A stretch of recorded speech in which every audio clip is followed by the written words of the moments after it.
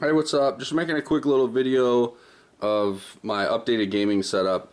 I used to have a bunch of different consoles in this stand. Um, I used to have an N64, a PS1, and a PS2, but I removed them and added a PS4 and an Xbox One. I've still got a 360, a PS3, a Wii, a Wii U, my uh, Elgato, my Astro transmitter, and another old Wii that's on a stand that I just use for charging rechargeable battery packs. I don't use that Wii. My fiance has also added an Xbox One. I added a 32 inch Samsung LED just to have down in the corner.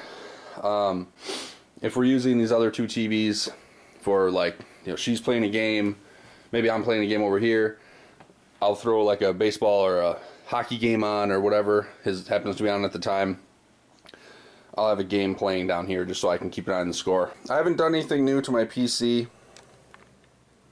Um, only thing I've done is, since my last video is I have a smaller monitor in here now. It's like a 25 inch HP something. Still have the little TV in here.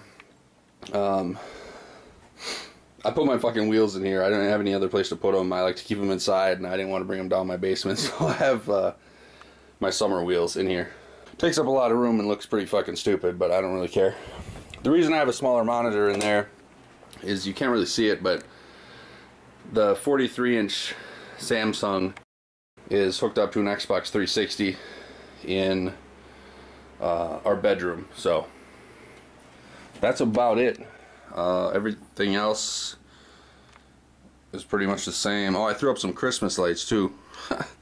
And here's my bulldog. His name is Bowser. He'll uh he'll fuck you up. So don't ever try to bust in my house and steal my shit. This motherfucker doesn't give a shit about anything except eating, sleeping, and taking shits.